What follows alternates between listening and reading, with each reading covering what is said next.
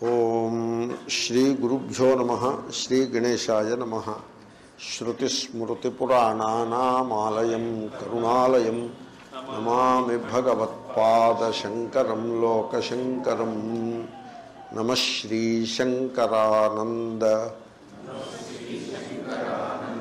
గురుపాదాంబుజన్మనే సవిలాసమహామోహ గ్రాహగ్రాసైకర్మణే వేదాంత పంచదశి అనే ఈ గ్రంథాన్ని విద్యారణ్యస్వామి ఆ నిర్మాణ నిర్మించినటువంటి గ్రంథము. మామూలుగా మీకు రెండు పేర్లు వినపడతాయి. సాయణాచార్యులు విద్యారణ్యస్వామి ఇద్దరు ఒక్కటే అని లోకంలో ఒక ప్రథ. ఆ ప్రథ సరైందని నేను అనుకోను. సాయణాచార్యులు వేదాలకు భాష్యాన్ని రచించారు. సాయణ భాష్యము అని పేరు. సాయణుడే విద్యారణ్యుడు విద్యారణ్యుడే సాయణులు అని సరైన విమర్శ చేయకుండా ఊరికే పై పై మాటలు నాలుగు చెప్పి వాళ్ళు ఏవో చెప్తూ ఉంటారు. అది సరికాదు. వాళ్ళిద్దరూ సోదరులు. సాయణుడు విద్యారణ్యుడు సోదరులు. విద్యా విజయనగర సామ్రాజ్యం బుక్కరాయలు విజయనగర సామ్రాజ్యాన్ని స్థాపించిన సందర్భంలో ఉన్న మహాపురుషులు వాళ్ళిద్దరూ. ఇద్దరు సోదరులు కూడా మహావిద్వాంసులే.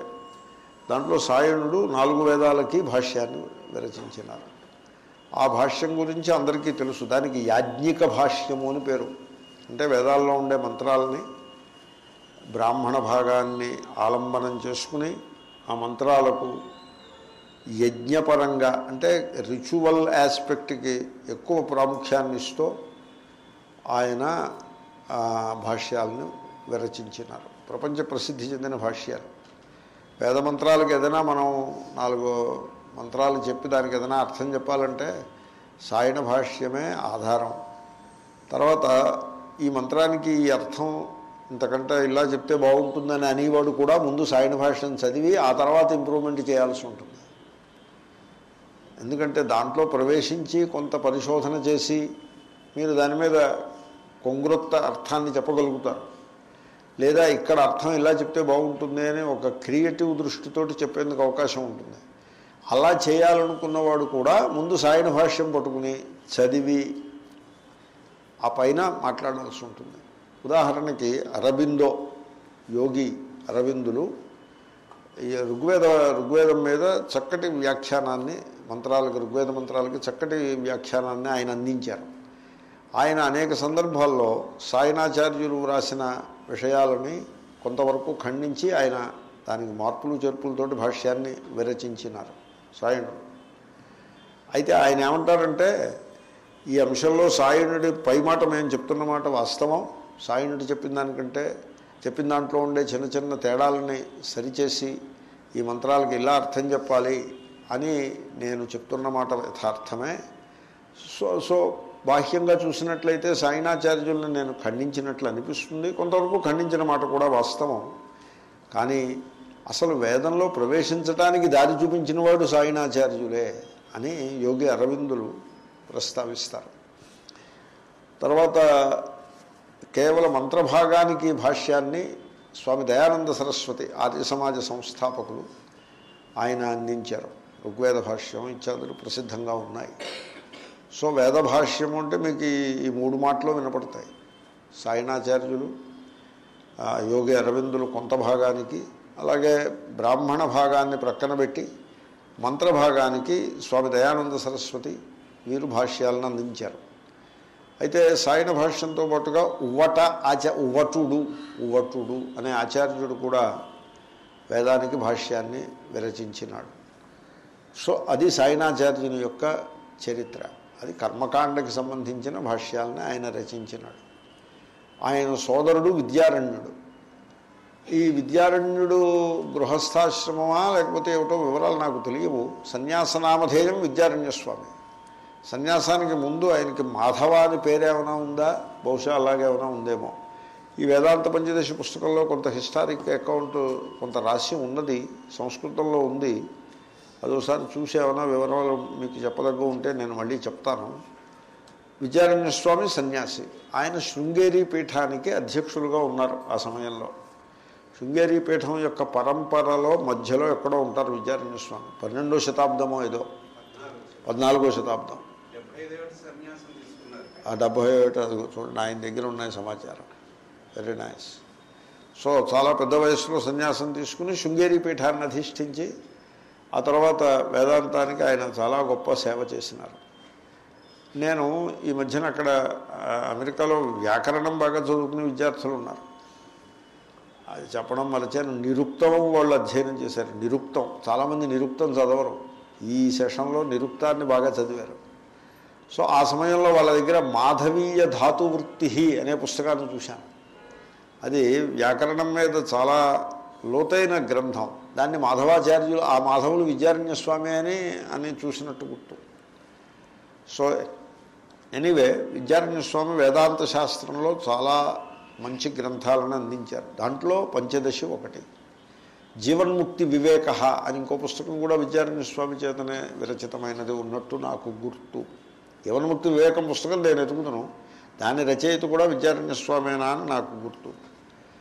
ఈ వేదాంత పంచదశిని ఆయన వేదాంత శాస్త్రము యొక్క సబ్జెక్ట్ మ్యాటర్ అంతా కూడా దాన్ని ప్రమేయము అంటారు సంస్కృతంలో. వేదాంత శాస్త్రము యొక్క ప్రమేయమునంతను చిన్న చిన్న అనుష్ఠుప్ శ్లోర్తల్లో అనుష్ఠుప్ శ్లోకాల్లో ఆయన నిర్మాణం చేసి పదిహేను అధ్యాయాలుగా నిర్మాణం చేశారు. మొత్తం వేదాంత శాస్త్రం యొక్క ప్రమేయం అంతా వచ్చేస్తుంది దాంట్లో.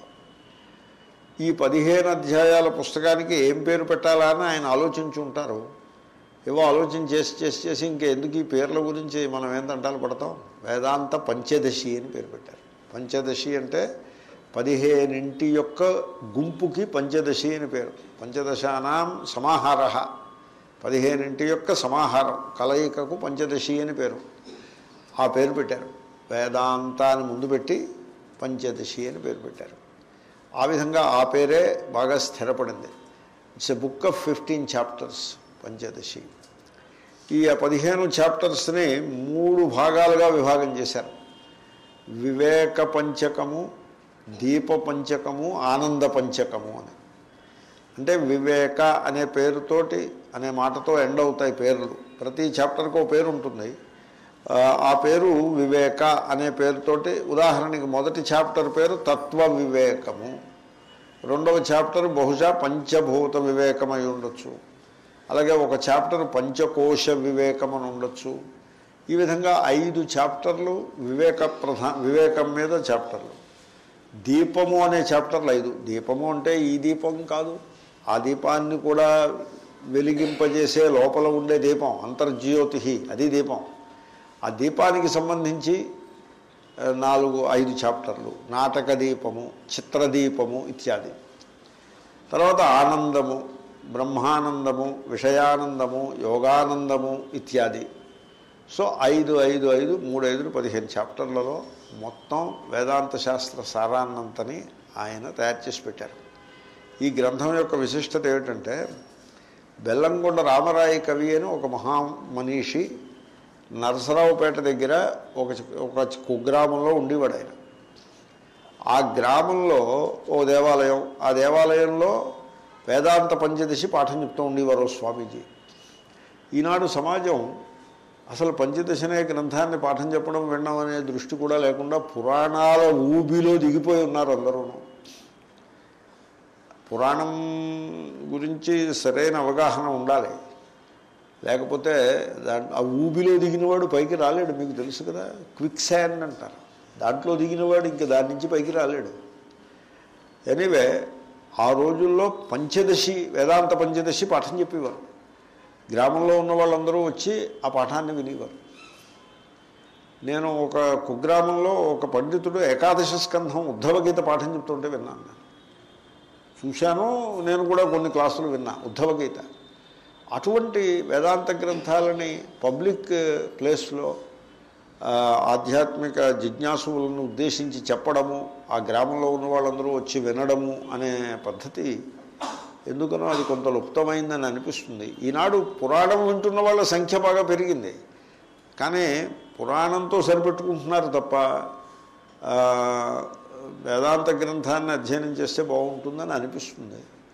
అంటే మన తీసుకెళ్ళి ఊరేగించి మనకి ఒక వేదిక ఏర్పాటు చేసి పాఠం చెప్పించాలని నా అభిప్రాయం కాదు. నాకున్న పాఠాలు నాకు కాదు. ఇదే ఇదే ఎక్కువై కొంచెం నేను ఇబ్బంది పడుతున్నాను. ఇది కాదు. నా అభిప్రాయం అది కాదు. కాబట్టి ఆ బెల్లంకొండ వారు ఉన్న బెల్లంకొండ రామరాయ కవి ఉండే గ్రామంలో వేదాంత పంచదశి పాఠం చెప్తుంటే ఈయన యంగ్ మ్యాన్ వైష్ణవుడు ద్వైతి. వైష్ణవులు అంటే ద్వైతులని అర్థం. మాట వరుసకి విశిష్టాద్వైతులని అన్నా ద్వైతులే. ఏమండి? ఆయన నామాలలో పెట్టుకుని నామం పెట్టుకోవడం తప్పే ఉంది పెట్టుకోవచ్చు. ఇలాగే పెట్టుకోవాలని రూలే ఉంది ఇలా కూడా పెట్టుకోవచ్చు. దట్ ఈస్ ఫైన్ ఆయన వెళ్ళి వినేవారు పంచదశి ఏమిటో విందామని విన్నారు. మొదటి రోజు విని ఆయనకి ఉత్సాహం కలిగింది. అంటే ఆయనలో తాత్విక చింతన గలవాడు. పురాణమే పాఠం పురాణం కావాలనుకున్నవాడు ఇంకా రెండో రోజు వెళ్ళడు. అబ్బాయి ఇక్కడ ఏదో చెప్తాడు ఆయన మనకు ఉపయోగపడుతుంది అలా కాకుండా వెళ్ళి రోజు వినివారు ఆయన. మొత్తం పంచదశ అంతా విన్నారు ఆయన. ఆరు మాసాలు ఎంతో విన్నారు. విని నామాన్ని చెరిపేయలేదు. నామం అలాంటి పెట్టుకున్నారు. కానీ ద్వైతాన్ని చెరిపేశారు. ఇంకా ద్వైతం లేదు. ఇంకా ఆయన బుద్ధిలో ద్వైతం అనేది లేదు. ఆయన బుద్ధిలో అద్వైతమే కలదు. బుద్ధిమంతుడు ద్వైతాన్ని అర్థం చేసుకుంటాడు తప్ప ద్వైతమే సత్యం అని అండవు బుద్ధిమంతుడు అండవు ఏదో ఇంకేవో విశ్వాసాలకు లోబడి మనం అలా అనాలి కాబట్టి అలా అందా అలా అందామనే ఒక ఆగ్రహం పూర్వాగ్రహం గలవాళ్ళు అలా అనాలి తప్ప లోతైన విమర్శనశీలము గల వ్యక్తి వాడు ఎవడైనా సరే ద్వైతాన్ని ద్వైతం అనుభవంలో ఉన్న విషయం అందరికీ అనుభవానికి వచ్చేది ద్వైతమే. దాన్ని ఎవడు కాదంటాడు? కానీ అందరికీ అనుభవానికి వచ్చే ద్వైతం మాట వేరు సత్యం మాట వేరు. సత్యము అన్నిటికీ ద్వైతము కాజాలదు అనే ఆ క్రియేటివ్ ఇన్స్టింక్ట్ ఆ క్రియేటివ్ విషన్ ఆ సృజనాత్మకమైన పరిశీలన ధోరణి గల మహా మనిషి ఆయన అందుకోసం ఆయన ఆయన హృదయంలో ద్వైతం చెరిగిపోయింది అక్కడితో ఇంకా మళ్ళీ మిగల్లేదు ద్వైతం. ఆ తర్వాత ఆయన అద్వైత వేదాంత శాస్త్రంలో అద్భుతమైన గ్రంథాలను ఆయన నిర్మాణం చేశారు. శతాధిక గ్రంథకర్త వెల్లంకొండ రామరాయ కవి. వంద కంటే ఎక్కువ గ్రంథాలు రాశారు. అవన్నీ కూడా అద్వైత వేదాంత శాస్త్రానికి ఈనాటికి తలమానికముల వంటి గ్రంథములు. అటువంటి అంటే ఒక అంతటి మనీషి అంతటి మహామనీషి పంచదశి నుంచి నిర్మాణం అయ్యాడంటే దానిని బట్టి పంచదశి యొక్క విశిష్టతను మనం అర్థం చేసుకోవచ్చు. కాబట్టి చాలా గొప్ప పుస్తకం ఇది. అందరూ చదువుతారు పంచదశి. రండి.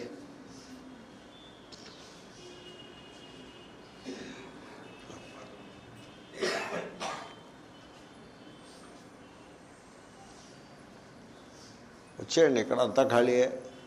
ఉన్నది పుష్పక విమానం కూర్చో. అమ్మ నువ్వు ఇలా వచ్చేసే.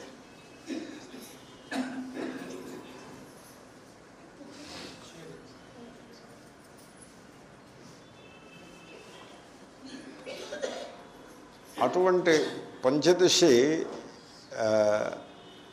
నేను చాలా విస్తారంగా యూఎస్లో పాఠం చెప్పాను పంచదశి సుమారు సిక్స్టీ సెవెంటీ పర్సెంట్ పంచదశి నేను అక్కడ పాఠం చెప్పాను. చాలా చక్కటి గ్రంథం కొంచెం కొంచెం వేదాంత శాస్త్రంలో లోతైన గ్రంథం. మరీ తేలికగా ఉండదు కొంత కఠినంగా ఉంటుంది. అయితే మరి అధ్యయనం చేస్తుంటే తేలిక అవుతుంది. కానీ పెద్దది పదిహేను అధ్యాయాలు ఒక్కొక్క అధ్యాయంలో సగటుని డెబ్భై ఎనభై శ్లోకాలు వేసుకున్నా ఎన్నో శ్లోకాలు దగ్గర దగ్గర వెయ్యి శ్లోకాల దాకా వచ్చేస్తున్నాయి. పదిహేను వందల శ్లోకాలు. ఇటువంటి విస్తృతమైన గ్రంథాలకి సంగ్రహ రూపాన్ని తయారు చేయుట అనే ఒక ప్రక్రియ సంస్కృతంలో ఉన్నది. సంస్కృత సాహిత్యంలో ముఖ్యంగా వేదాంత సాహిత్యంలో ఉన్నది. ఉదాహరణకు నా దగ్గర ఒక పుస్తకం ఉండేది నేను ఎవరికో ఇచ్చానో ఇంకా ఉందో నాకు గుర్తులేదు. మహాభారతాన్నంతని సంగ్రహం చేసిన సంస్కృత పుస్తకం. ఉంది మొత్తం మహాభారతం అంతా చదవాలనే ఓపిక లేకపోతే సంస్కృత పుస్తకం ఉంది అది దాంట్లో అది చదువుకుంటే సరిపడుతుంది. మహాభారతం యొక్క సంగ్రహ రూపం. నేను చూసి ఆశ్చర్యపోయాను. అంటే అతను ఆ చేసిన ఆయన మహావిద్వాంసులు అయి ఉండాలి లేకపోతే చేయలేరు దాన్ని. తర్వాత Yoga Vasishtham it's a standard example. Thirty two thousand verses. సముద్రం అంత పుస్తకం అది. దాన్ని సారరూపంగా సంగ్రహించినటువంటి మహాత్ములు ఎంతో మంది ఉన్నారు. మన ఏర్పేడు మలయాళ స్వామి దగ్గర శిష్యులు విద్యాప్రకాశానందగిరి వారు యోగవాసిష్ఠ రత్నాకరము అని పేరు పెట్టి యోగవాసిష్ఠానికి చక్కటి సంగ్రహ రూపాన్ని రెండు వాల్యూమ్స్లో అందించారు. అలా- అలాగనే ఇంగ్లీష్లో ట్రాన్స్లేషన్ ఇస్తూ సంగ్రహ రూపం చేసిన గ్రంథాన్ని ఒకదాన్ని నేను ఎరుగుదును ఇంకా అలాంటి గ్రంథాలు ఉండి ఉంటాయి యోగవాసిష్ఠానికి సంగ్రహ రూపం.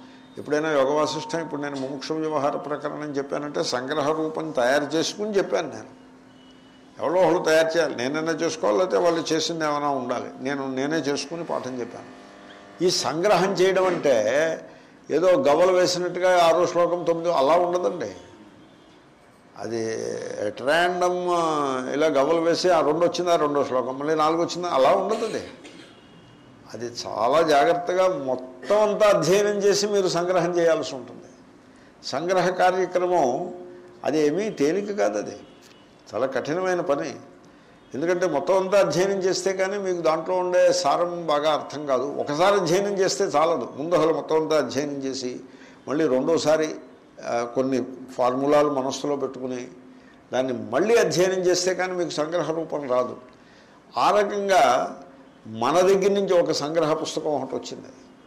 ఆ ఒరిజినల్లే అంత పాపులర్ కాదు కాబట్టి మన పుస్తకం in that sense it is not as popular that is the Suta Samhitasarah అది ఎవరు చేయలేదు. అది మన దగ్గర నుంచి వచ్చిన పుస్తకం అది. నేను ఎప్పటికీ అనుకునేవాడిని ఈ పంచదశి కూడా ఎవరైనా సంగ్రహం చేసుకుంటే బాగుండని. టు మై అట్టర్ సర్ప్రైజ్ ఒకరోజు ఉదయం సడన్గా ఈ పుస్తకం నాకు అంటపడింది. నేను ఆయన ఎరుగుదను అంటే ఆయన్ని వ్యక్తిగతంగా ఎరగను ఆయన మహావిద్వాంసులు ఆయన పుస్తకాలు నేను చదివాను. చాలా స- చాలా పుస్తకాలు చదివాను నేను. ముదిగొండ వెంకటరామ శాస్త్రి గారు. ఈయన మా నాయనగారికి కొలిగ్గు నాయనగారు ఈయన పేరు తరచుగా చెప్తూ ఉండేవారు మహావిద్వాంసులు అని. ఆయన హైదరాబాదులో ఉండేవారు. అశోక్ నగర్లో ఉండేవారు సో ఈయన బ్రహ్మ విద్యాలంకార అని ఆయనకి బిరుదేదో కూడా ఇచ్చారు. ఆ బిరుదుదే ఉంది. ఏవో బిరుదులు ఎవరో ఇస్తూనే ఉంటారు. బిరుదుతో సంబంధం లేకుండా చాలా మహావిద్వాంసులు ఆయన. సంస్కృ వేదాంత శాస్త్రంలో అంతటి నిష్ణాతులు ఎవళ్ళు లేరు. ఆయన తెలుగులో వ్రాసిన గ్రంథాలు చదవడానికి వాడు సంస్కృత పండితుడై ఉండాలి. ఆయన తెలుగు గ్రంథాలు కాదంబరి సంస్కృత కాదంబరిలాగా ఉంటాయి. ఇంతంత పొడుగు సమాసాలతోటి అత్యంత పాండిత్య స్ఫోరకంగా చాలా అద్భుతమైన గ్రంథాలు ఉంటాయి. ఆయన ఏం చేశారంటే ఈ వేదాంత పంచదశని తీసుకుని దానిని సారం చేయాలనే ఐడియా ఆ యోగ వాసిష్టాన్ని బట్టి వచ్చిందో మరికి ఆయన ఎలా వచ్చిందో ఆయన దాన్ని సారం చేసి అది ఒక చిన్న పుస్తకం కింద ప్రచురించారు. ఈ ప్రచురణ చాలా ఏళ్ళ క్రితం జరిగింది. అరవై ఏళ్ళు అయిపోయింది ఈ పుస్తకాన్ని ప్రచురించి. ఆ తర్వాత దీన్ని ఎంతమంది అధ్యయనం చేశారో ఏమో తెలియదు కానీ నాకు అంటపడింది. దీన్ని ఇక్కడ మనం పాఠం చదివితే సరిపడుతుంది. మొత్తం పద్యదశ అంతా మొదలు పెడితే ఎప్పటికీ తెవలేను. ఇది కనుక మనం అధ్యయనం చేసినట్లయితే సారం అంతా వచ్చేస్తుంది. అందులో సారం చేసిన వాళ్ళ యొక్క పాండిత్యం నాకు బాగా తెలుసు కనుక ఆయన ఇగో ఇది సారము అని చెప్తే ఇంకా మీరు అథెంటిక్గా దాన్ని తీసుకుని చదువుకోవచ్చు. అలాంటి మహాపురుషుడు ఆయన కనుక ఆ పుస్తకం నాకు అంటపడిన వెంటనే నేను అనుకున్నా ఇది మనం పాఠం చెప్పాలి. ఇంకా ఒరిజినల్ పంచదశి పక్కన పెట్టి ఇది పాఠం చెప్పాలి. నేను ఈ పుస్తకాన్ని యూఎస్ పట్టుకెళ్ళాలి. ఆ పట్టుకెళ్ళి అక్కడ దీంట్లోంచి ఒకటి రెండు చాప్టర్లు నేను అక్కడ పాఠం చెప్పాను. మహావాక్య వివేక ప్రకరణము అది అక్కడ చెప్పాను. ఇంకా సరే ఇక్కడ ఏ పాఠం చెప్పాలి అంటే దీన్ని చెప్పుకుంటే బాగుంటుంది అని అనిపించి ఈ సంవత్సరం దీన్ని మొదలుపెట్టాం. అయితే పుస్తకం సంపాదించాలి కదా. ఒక్క కాపీ ఉంటే కూడా మనం జిరాక్స్ చేసుకోవచ్చు. కానీ అలాగా చేయటం కంటే పుస్తకాలు ఉన్నట్లయితే కొని చేసుకుంటే మంచిది. మనం జిరాక్స్ చేసుకున్నట్లయితే మనం వారి అనుమతి తీసుకుని జిరాక్స్ చేయాలి లేకపోతే చేయకూడదు. ఇట్ ఈజ్ ఇల్లీగల్ అలాగే ఎలా పడితే అలా జిరాక్స్లు చేసేయటం అది కూడా సరికాదు. అంటే పుస్తకం వంద సంవత్సరాల ఓల్డ్ అయితే చేసుకోవచ్చు. ఇది దాని కాపీ రైట్స్ అవి ఉంటాయి మనం అలా జిరాక్స్ చేయటం ధర్మం కాదు. ఆయన ఈ పుస్తకాలు నేను మన సూర్యనారాయణ గారితో చెప్తే ఆ పుస్తకాలు ఉన్నాయి అని అంటే వాళ్ళ దగ్గర నుంచి ఒక యాభై పుస్తకాలు తెప్పించి అక్కడతో అక్కడితో అయిపోయాయి ఇంక లేవు.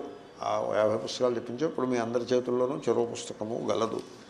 ఇది ఈ వేదాంత పంచదశి సార సంగ్రహరత్నావళి అనే గ్రంథము యొక్క పూర్వరంగము ఇట్టిది. ఇది ఉపోద్ఘాతం. ఇప్పుడు దీంట్లో ఐ మొదటి ఐదు చాప్టర్లకి వివేక పంచకము అని పేరు. ఐదు చాప్టర్లు వివేక అనే పదంతో ఆరంభం అనే పదంతో ఆ పేరు ఉంటుంది.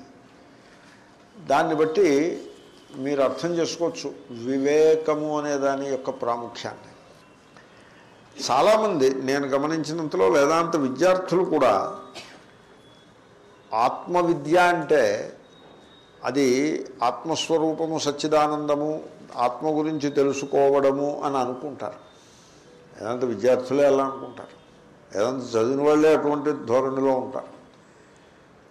ఏమనుకుంటారంటే ఆత్మ మనం అన్నీ తెలిసేసుకున్నాం తెలుసుకోవాల్సినవో చాలా తెలుసుకున్నాము ఆత్మ ఒక్కటి మిగిలి ఉంది అది కూడా తెలిసేసుకుంటే పని అయిపోతుంది అన్నట్టుగా విద్యార్థులే అలా ఉంటారు. ఆత్మని తెలియట అదేమీ అయ్యే మాట కాదు అది ఎందుకంటే ఆత్మ అనంతం యూనో అప్రమేయము అంటారు. శ్రీకృష్ణుడు గీతలో అప్రమేయం అంటాడు. అప్రమేయం అంటే ప్రమాణగోచరము కానిది. ప్రమాణగోచరము కాని దాన్ని మేము తెలిసేసుకున్నాము అంటే అది విరుద్ధమైన వచనం. అది అనుకూలమైన వచనం కాదు. మనం తెలుసుకునేది ఏముంటుందంటే ఏది ఆత్మ కాదో అది తెలుసుకోవడం. అంటే అనాత్మను అనాత్మగా తెలుసుకుంటే సరిపడుతుంది. అనాత్మను ఆత్మగా ఆత్మను అనాత్మగా కలగాపులగం చేయకుండా వివేకానికి విరోధం ఆపోజిట్ కలగాపులగం మిక్సప్ ఆత్మను అనాత్మగా కలగాపులగం చేసేయటం ఆత్మను అనాత్మగా కలగాపులగం చేసేయటం. చిన్నపిల్లలు ఏం చేస్తారంటే తల్లి ఏదో పనిలో ఉన్నప్పుడు పంచదార డబ్బా తీసి దాన్ని ఓపెన్ చేసేసి ఆ పంచదార అంతా కింద పోసేసి ఆ పక్కనే ఉన్న మట్టిని ఆ పంచదారతో కలిపేస్తుంది. చిన్నపిల్లలు అలా కలిపేస్తారు. జనులు అలా చేస్తూ ఉంటారు. మట్టిని పంచదారని కలిపేయటం. ఆత్మను అనాత్మను కలగాపులగం చేసేయటం. అలా సంసారంలో ఆ విధంగా ఉంటారు. అటువంటి సంసారాన్ని ఉద్దేశించి మీరు ఆత్మ సచ్చిదానందము తత్వమసి అహం బ్రహ్మాస్మి అని మొదలుపెట్టారనుకోండి వాళ్ళకి దానివల్ల ఉరి ఉనగూరే ప్రయోజనం ఏమి ఉండదు. ఊరికే వేదాంతంలో ఇలాంటి సంగతులు చెప్తారు కాబోలు అనుకుంటారు. అంతే తప్ప అది విషయం అవగాహనకి రాదు. సంసారులను ఉద్దేశించి చేయాల్సిన బోధ ఏమంటే చూడప్ప నీవు అనాత్మను ఆత్మగా ఆత్మను అనాత్మగా భ్రమపడుతూ ఉన్నావు. ఈ భ్రమ నుంచి నువ్వు బయటపడి అనాత్మను అనాత్మగా దర్శించుట అర్థం చేసుకో. అంటే అర్థం ఏమిటి? అనాత్మను అనాత్మగా దర్శించుట అనాత్మను ఆత్మను కలగాపులగము చేయకుండుట. ఈ రెండు పనులు పూర్తి చేస్తే ఆత్మస్వరూపము తనంత తానే ప్రకాశించేస్తుంది. పని కట్టుకున్న ఆత్మను తెలుసుకోవటానికి ఆత్మ వీడికంటే అన్యము కానే కాదు. వీడు ఆత్మస్వరూపుడయ్యే ఉన్నాడు. కాబట్టి కొత్తగా ఆత్మను తెలుసుకోవడం అంటూ ఏమి ఉండదు. కొత్తగా ఆత్మను పొందేది అనేది కూడా ఏమీ లేదు. కేవలము ఇంత పొరపాటుని మనం సరిచేసుకుంటే సరిపడుతుంది. ఆ పొరపాటు రెండు రకములు. ఆ అనాత్మను అనాత్మగా గుర్తెరుగుట. అనాత్మను ఆత్మగా ఆత్మను అనాత్మగా కలగాపులగము చేయకుండుట. ఇంతే. దీ ఈ రెండింటికి కలిపి వివేకము అని పేరు. వివేక జ్ఞానము. ఈ పదం కూడా వ్యాకరణం వాళ్ళు ఉంటారు విద్యార్థులు. అందుకోసం నేను ఆ వ్యాకరణ మాటలు చెప్తూ ఉంటాను. విచిర్ పృథగ్భావే అనే ధాతువు నుంచి పుట్టింది. విచిర్. విచిర్ అని ఇర్రు వచ్చిందంటే దాన్ని ఇరిత్ అంటారు. ఆ ఇర్రు ఇద్వర్ణం. ఇరిత్ అది. విచ్చుంటుంది. ఆ విచ్చుకి అభ్యాసం చేస్తే అభ్యాసం చేసి వి మొదటి అభ్యాస వి మిగులుతుంది. విచ్చుకి గుణం చేసి చాబదులు చోహ్కుహు చేస్తే వివేక అవుతుంది. దాని లక్షణం ఆ పదం తయారైన తీరది. దాని అర్థం ఏంటంటే తే రెండింటిని కలగాపులగం చేయకుండా తేడాగా తెలుసుకునుట. పృథగ్భావే అని అర్థం కదా. విచిర్ పృథగ్భావే పృథక్ పృథక్ దేనిని దానిగా అట్టపెట్టాలి. మట్టిని పంచదారని కలిపేయకూడదు. మట్టి మట్టిగా అట్టు పెట్టుకోవాలి. మట్టి ఉపయోగపడుతుంది. పంచదార ఉపయోగపడుతుంది. ఆ రెండింటిని కలిపి కూర్చోబెట్టారనుకోండి ఎందుకు పలికి రాకుండా అవుతుంది? కాబట్టి ఆ విధంగా తేడాని తెలుసుకొనుట దాని పేరు వివేకం. ఆ పదము యొక్క అర్థం అటువంటిది. ఆ వివేకమునకు విద్యారణ్య స్వామి ఇచ్చేటువంటి ప్రాముఖ్యం మనకు తెలిసిపోతుంది. ఐదు చాప్టర్లు ఆయన వివేకం మీద పెట్టారంటే దానికి ఎంత ప్రాముఖ్యం ఇచ్చారో మనకు అర్థమవుతుంది. వివేకం మొదటి ఐదు ఆనందం ఆఖరి ఐదు. సో ఈ వివేకాన్ని వంట పట్టించుకుని ఆ దీపాలని బాగా అర్థం చేసుకుంటే మీరు ఆనందంలోకి వెళ్ళిపోతారు. అది మొత్తం పుస్తకం యొక్క లక్షణం. కాబట్టి ఈ మొదటి వివేక ప్రకరణంలోకి వచ్చాం మనం. దీనికి తత్వ వివేక అని పేరు. తత్వము అనే పదాన్ని ముందు అర్థం చేసుకోవాలి. ఇవన్నీ మీరు విన్నదే అయినా ఇంకోసారి గుర్తు చేస్తున్నాను. చూడండి నామరూపాలు వేరు తత్వం వేరు. కంటికి కనబడేవి ఇంద్రియ గోచరమయ్యేవి నామరూపములే. ఇంద్రియ గోచరమయ్యేది తత్వం ఎన్నటికీ కాదు. ఎందుకంటే తత్వమునందు ఆకారము ఉండదు. అనారోపితాకారం తత్వం అని తత్వం యొక్క నిర్వచనం. దేని ఎందైతే ఆకారము యొక్క అధ్యారోపము సూపర్ ఇంపోజిషన్ ఉండదో అది తత్వం అనబడును ఇప్పుడు పృథివీ ఉన్నది తత్వము. ఎందుకంటే పృథివీకి ఆకారమే ఉండదు. పృథివీ నుంచి వచ్చిన మట్టి కుండ లేకపోతే కొండ నది కొండ లేకపోతే చదును నేల ఇత్యాది నామరూపాలు వేరు వేరే పృథివీ నుంచి వచ్చినవి ఉంటాయి తప్ప పృథివీకంటూ ఆకారమే ఉండదు. పృథివీ అంటే సాలిడ్ స్టేట్ అని అర్థం. దానికి ఆకారం ఉండదు. అలాగే ఆపహ తత్వము.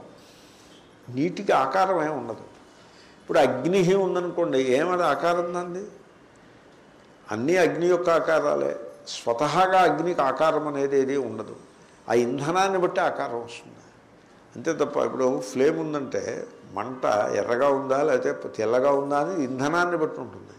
ఆ మంట యొక్క ఆకారం ఎలా ఉంది అన్నది ఆ పరిస్థితిని బట్టి ఉంటుంది తప్ప మంటకి అగ్నికంటూ స్వతహాగా ఆకారం ఏది ఉండదు. కాబట్టి అగ్ని తత్వము వాయువు తత్వము ఆకాశము తత్వము మీకు తత్వానికి దృష్టాంతం చెప్పా. అయితే ఇవన్నీ తత్వములే కానీ నేను మాత్రం తత్వం కాదు నేను ఆకారము గలవాడను అని మనిషి అనుకుంటాడు. ఇగో దాని పేరే అవివేకము. అక్కడే అప్పుడే సమస్య ప్రారంభమైంది. తన గురించి చూడండి మీ ఎదురుకుండా ఉండి దాని పేరు పరాక్. మీ మీ లోపల మీ గురించి అను ఏదైతే ఉంటుందో దాన్ని ప్రత్యక్. రెండే ఉంటాయి ప్రత్యక్కు పరాక్కు. నేను ప్రత్యక్. నేను కానిదంతా కూడా పరాక్. ఇప్పుడు ఈ దేవుడు అనేవాడు వీడు ప్రత్యక్క పరాక్క? ఆ మీమాంస తర్వాత వస్తుంది ముందు ఈ ప్రత్యక్ పరాక్క సంగతి తేల్చండి. నేను అనేది ప్రత్యక్క ఎందుకంటే అక్క అనేది కూడా ఊరికే అక్కలా కనపడుతుంది. అది అంచు గతవు అనే ధాతువు నుంచి వచ్చింది. అంచు గతవులో నకారం పోతుంది. ఉపధా లోపం వచ్చి చకారం మళ్ళీ చౌహ్కు అయ్యి అక్క అవుతుంది అది. ప్రతి అంటే వెనక్కి. పరా అంటే బయటికి. పరాక్ అంటే మీరు బహిర్ముఖంగా ఉన్నప్పుడు ఆ జగత్ అంతా కూడా ఇంద్రియ గోచరమయ్యే జగత్తు పరాక్ అవుతుంది. ఇంద్రియగోచరమయ్యే దాంట్లో నామరూపాలు ఇంద్రియగోచరం అవుతాయి పరాక్లో కూడా తత్వాలు ఉన్నాయి పృథివ్యుక్తేజో వాయువాకాశములు తత్వములు. మీరు ప్రత్యక్ చూసుకుంటే నేను ప్రత్యక్ అంటే తన గురించి the innermost reality of the individual అంటారు ఇంగ్లీష్లో. మనిషి వ్యక్తి యొక్క అంతస్ అంతఃసారమైన తత్వము. ఏమిటో చెప్పాలి. నామరూపాలు పెట్టకూడదు దానికి. ఎందుకంటే దాని పేరే తత్వం అంటున్నాం కనుక నామరూపాలు పెట్టకూడదు. ఇప్పుడు దేహానికి అనేక నామరూపాలు ఉంటాయి. కులము వర్గము వర్ణము గోత్రము పుట్టుక తేదీ దాన్ని బట్టి రాశి నక్షత్రము ఇవన్నీ కూడా నామరూపాలే. దేహాన్ని బట్టి వచ్చినవి ఇవన్నీ కూడా. అన్ని నామరూపాలే. అవి ఏవి తత్వంలోకి రావు. ఇప్పుడు ఎవడైనా వచ్చి నాదేమో మూలా నక్షత్రం అన్నాడు కొన్ని ఆ తత్వం ఏం కాదు అది. మూలా నక్షత్రం తత్వం ఏమిటి? వాడు పుట్టిన తేదీ నాడు ఉన్న నక్షత్రం. తత్వం ఏం కాదు నామరూపాలు. నాది సింహరాశి అన్నాడు అనుకోండి అది నామరూపాలే. అయితే ఇంకా నామరూప మేము ఫలానా గోత్రం అన్నాడు అది నామరూపమే. మేమేమో పంజాబీ వాళ్ళం మద్రాసీ వాళ్ళం అది నామరూపమే. మొగ ఆడ అది నామరూపాలే. అసలు నామరూపాలు కాంది ఏమన్నా అసలు ఉందా? మనిషి తన గురించి అనుకునే సర్వము నామరూపములే తత్వమును తెలుసుకోవడం తర్వాయే. కాబట్టి తన గురించి తన స్వరూపమేమి? నామరూపాలు కాకుండా తన స్వరూపమేమి? దాని పేరు ప్రత్యక్తత్వము. ఈ ప్రత్యక్తత్వాన్ని పరాక్కుతో అంటే అనాత్మ పరాక్ అంటే అనాత్మ ఎక్స్టర్నల్. దానితో కలగాపులగం చేయకుండా స్పష్టంగా తెలుసుకోవడం పేరే వివేకము ప్రత్యక్తత్వ వివేకము. తత్వ అన్నప్పుడు ఒక తా రాయకూడదు. మొదటి తా అంటలేదు నేను రెండో తా. ఒక తా రాయకూడదు. తత్వ అన్నప్పుడు దాన్ని విడతిస్తే తత్ త్వ. ఇక్కడ ఎన్ని తాలు వచ్చాయి? రెండు వచ్చాయి. మొదటి తా లెక్కనట్లేదు నేను. రెండో అక్షరంలో స్పెల్లింగ్ ఏమిటి? రెండో అక్షరానికి తకార తకార వకార అకారములు. ఓకే? తా త వ అండ్ తత్వ. ఒక తాళ్ళతో రాయకూడదు. కాబట్టి ప్రత్యక్ తత్వ వివేకము. తత్వ. తత్వ అంటే నామరూపముల యొక్క అధ్యారూపము లేని స్వరూపము. అది తత్వము. ప్రత్యక్ తన యొక్క. ప్రత్యక్ అంటే తాను. తాను సెల్ఫ్. సో తన యొక్క నామరూపముల అధ్యారూపము లేని తత్వం ఏదైతే కలదో దానిని పరాక్కుగా ఉండేటువంటి దేహాదులు దేహం కూడా పరాక్కే కనపడుతోందిగా? కంటికి కనపడుతోంది తెలుస్తోంది. కాబట్టి దేహం కూడా పరాక్కే. కాబట్టి పరాక్కుతోటి కలగాపులగం చేయకుండా చక్కగా విడదీసి తన తత్వాన్ని తాను స్పష్టముగా తెలియుట. ఇది టాపిక్ ప్రత్యక్త్వ వివేక ఇప్పుడు ఆ టాపిక్లో మొదటి శ్లోకం. ఈ పుస్తకాలు ఈ పుస్తకమే మీ దగ్గర ఉండాలనే రూల్ ఏమీ లేదు. ఈ పుస్తకం ఉంటే మీరు తీసుకోండి కాపీలు అందరి దగ్గర కనపడుతున్నాయి సంతోషం. ఇది కాకుండా ఇంకా ఏవైనా పుస్తకాలు మీ దగ్గర ఉంటే కూడా తెచ్చుకోవచ్చు. రామకృష్ణ మిషన్ వాళ్ళ పుస్తకం ఉంది మంచి పుస్తకం అది. అయితే మొదటి శ్లోకంలో తప్పు ఉంది. రామకృష్ణ మిషన్ మొదటి శ్లోకంలో తప్పు ఉంది దిద్దుకోవాల్సి ఉంటుంది. మీరు దిద్దుకుందరు కానీ మిగతా శ్లోకాల్లో తప్పులు ఏమున్నాయో నేను చూడలేదు. నాకు మొదటి శ్లోకంలో తప్పు స్పష్టంగా కనపడింది. That has to be corrected ఆ పుస్తకం బాగుంటుంది. రామకృష్ణ మిషన్ పుస్తకం చాలా బాగుంది. ఆ తప్పు ఒక్కటి దిద్దుకోవాల్సి ఉంటుంది. తెలుగులో ఉన్న పుస్తకం మాట నేను చెప్తున్నాను. సంస్కృతంలో ఇంకా ఏవో పంచదశ పుస్తకాలు ఉన్నాయి. అది కూడా ఇలాంటి పుస్తకం ఒకటి. చౌకంబ వాళ్ళ సంస్కృత పుస్తకం ఉంది. దీంట్లో చిన్న వ్యాఖ్యానం కూడా ఉన్నది. రామకృష్ణ అనే ఆయన రాసిన వ్యాఖ్యానం సంస్కృత వ్యాఖ్యానం. మీకు సంస్కృత వ్యాఖ్యానం కూడా చదువుకునే ఉత్సాహం ఉన్నప్పుడు ఈ పుస్తకం కూడా ఉపయోగపడుతుంది. ఇది కాక ఇంగ్లీష్లో పంచదశ మీద పుస్తకం ఒకటి చూశాను నేను. అది కూడా బాగానే ఉంటుంది. అంటే సంస్కృత శ్లోకము ఇంగ్లీష్ అనువాదము. ఇలాంటి పుస్తకాలు ఏవో ఉన్నాయి. మీకు ఏ పుస్తకం ఉన్నా సరిపడుతుందని చెప్దాం శ్లోకానికి. పదచ్ఛేదం అంటూ పెద్ద ఏం లేదు. పెద్ద పెద్ద పదాలు అవన్నీ. అయినా ఒకసారి అందాము. నమహ శ్రీశంకరానంద గురు పాదాంబు జన్మనే సవిలాస మహామోహగ్రాహగ్రాసైక కర్మణే నమ అంటే నమస్కారము. ఎవరికి నమస్కారం చేస్తున్నారంటే గురువు గారు అంటే విద్యారణ్య స్వామి యొక్క గురువులు శ్రీ శంకరానంద అయి ఉంటారు ఊరికే పేరే మనకి అంతకంటే ఏం తెలుస్తుంది? ఇదేం హిస్టరీ గురించి తెలుసున్నది ఏమీ లేదుగా. సో శ్రీ శంకరానంద అని ఆయన ఒక మహాత్ములు. ఆయన విద్యారణ్య స్వామి యొక్క గురువులు. సో బహుశా శృంగేరి పీఠంలో పైస్వామేమో మనకు తెలియదు వాళ్ళ లిస్టులో ఉంటే ఉంది ఆ విద్యాశంకరో ఏదో మొత్తాన్ని సో శంకరానంద ఆయన పేరు.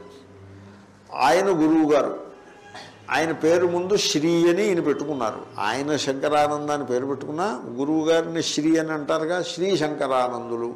ఆయన గురువు. కాబట్టి శ్రీ శ్రీ- శ్రీ శంకరానంద గురువులు. వారి పాదాలకి దండం పెడుతున్నారు. కాబట్టి గురువు యొక్క పాదములు పాదములు పద్మముల వంటివి. అది మామూలు కవులకి పాదములు పద్మముల పాదములను పద్మములతో పోలుస్తారు.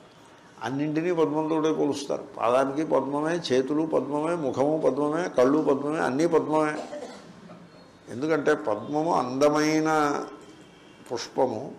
తర్వాత పద్మానికి ఉండే విశిష్టత ఏమంటే అది మకిలి అవదు మురికి అవదు ఎప్పటికీ స్వచ్ఛంగానే ఉంటుంది.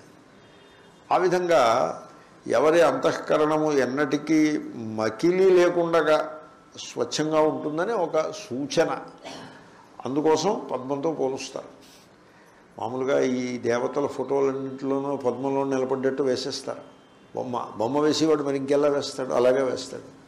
దాన్ని బట్టి మీరేమో ఆ లక్ష్మీదేవి గారేమో ఎప్పుడూ ఎప్పుడు పద్మంలో నిలబడి ఉంటారని అనుకోకూడదు. అలా అలా ఉంటారా? దాని దాని అర్థం అదే మరి నేను చెప్పేది పురాణాల ఊబిలో కూరుకుపోవడం అంటే దీని పేరే. పద్మము అంటే అది ఒక పవిత్రతకు స్వచ్ఛతకు గుర్తు. పద్మంలో పుట్టాడు అంటే దాని అర్థం అది.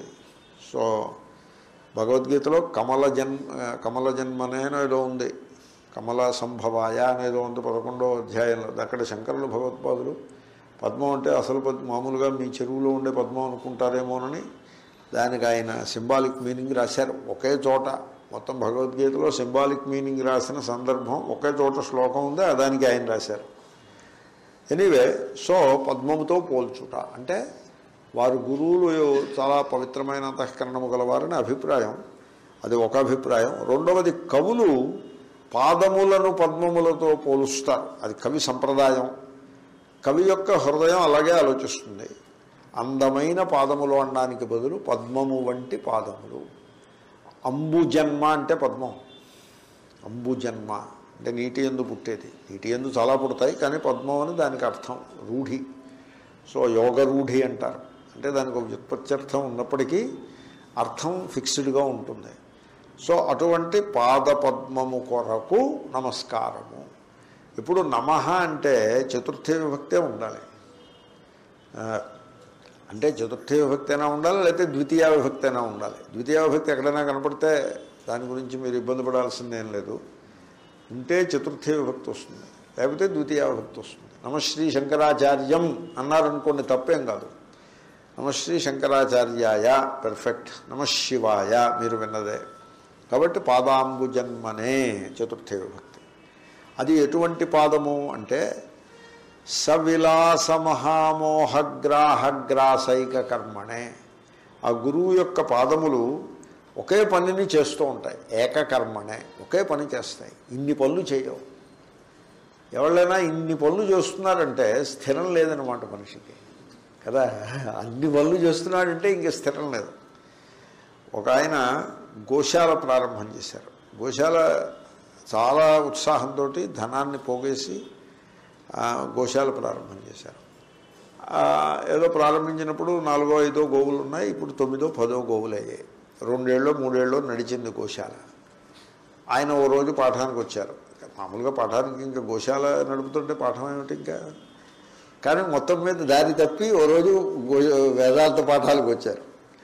వచ్చి పాఠం అయిపోయినట్టు నేను నేను ఆవేళ పాఠం ఏమిటంటే ఆత్మ చైతన్యం పాఠం అంతర్జ్యోతి అనేదో చైతన్యం మీద పాఠం గంట సేపు అదే పాఠం అంత ఆత్మ చైతన్యం అంతా అయిపోయిన తర్వాత ఆయన నా దగ్గరికి వచ్చి ఏమండి ఒక హాల్ ఒకటి కట్టి ఈ ఆ హాలుకి చైతన్య సభ అని పేరు పెట్టి అక్కడ ఆత్మ చైతన్యం గురించి ఎవరి చేతనాన్ని లెక్చర్స్ ఇప్పించి ప్లాన్ వేస్తున్నాను నేను అని చెప్పారు ఆయన. అంటే నేనన్నానంటే గోశాలకు అప్పుడే అప్పుడే గోశాల తలముత్తిందనమాట అంటే గోశాల మీద ఇంట్రెస్ట్ అప్పుడే పోయిందనమాట. అని అన్నామని ఆ ఆయన ఆయన్ని అలా అంత నిరుత్సాహపరచడం ఎందుకని అనలేదు. నేను అన్నాను చైతన్య సభ అక్కర్లేదండి. పాఠం చెప్పుకునేవాళ్ళు చెప్పుకుంటారు వినేవాళ్ళు వింటారు. దీనికోసం ఇప్పుడు కొత్తగా మీరేం హాల్ కట్టక్కర్లేదు. ఇప్పుడు నేను పాఠం చెప్పి మన ఇద్దరం వస్తున్నది హాలేగా? ఇంకో హాల్ అక్కర్లేదు చెప్పేవాడు ఎవడూ లేడు. వాళ్ళు అసలే లేరు. ఇంకో హాల్ ఒకటి కట్టడం ఎందుకు? అని నేను అని ఊరుకున్నా. కానీ నా మనస్సులో అనిపించింది. అప్పుడే సారికి గోశాల మీద కొంచెం విసుగు కలిగినది అని అనిపించింది. ఇదంతా ఎందుకు చెప్పానంటే ఆ నిష్ఠ అనేది చాలా అవసరం. వేదాంతంలో ఇంకా మళ్ళీ వేదాంతంలో వచ్చాక ఇంకొక దాంట్లోకి వెళ్ళక్కర్లేదు. వేదాంతం అంటే ఇంకా వేదాంతమే ఇంకా ఆ జీవితానికి అంతే. అది ఫైనల్ అది. మళ్ళీ ఇక్కడికి వచ్చి ఇక్కడి నుంచి ఇంకో చోటకి జంప్ చేయటాలు అలా ఉండవు. సో ఏకకర్మనే గురువు యొక్క పాదము అంటే గురువుగారనే అర్థం. ఒకే పని చేస్తారు ఆయన. ఆ గురువుగారు ఒకే పని చేస్తారు. ఆయన పాదములు ఒకే పని చేస్తాయి. అంటే అర్థం? ఆయన్ని ఆశ్రయిస్తే మనకి ఆ ప్రయోజనం సిద్ధిస్తుందని అభిప్రాయం. ఏమిటా పని? గ్రాస మృంగివేయుట అనే పని చేస్తాడు ఆయన. ఆయన పాదములు ఆ పని చేస్తాయి. మింగేయడం. గ్రాస అంటే కబళాన్ని మింగినట్టు మింగేయడం. దేన్ని మింగేస్తారు? గ్రాహ అంటే మొసలి. మొసల్ని మింగేస్తారు. అంటే మొసల్ని నశింపజేస్తారు అని అర్థం. ఏమిటా మొసలు ఏమిటో తెలుసునా అండి? మోహము. మోహమే మొసలి. గజేంద్ర మోక్షంలో మొసలి మోహమే. ఈ గజేంద్ర మోక్షం పాఠం చెప్పేవాళ్ళు వినేవాళ్ళు ముందు అర్థం చేసుకోవాల్సింది ఏమిటంటే Gajendra Moksham is not historic it is it is not about some history thing it is it is symbolic అక్కడ ఏనుగు జీవుడు.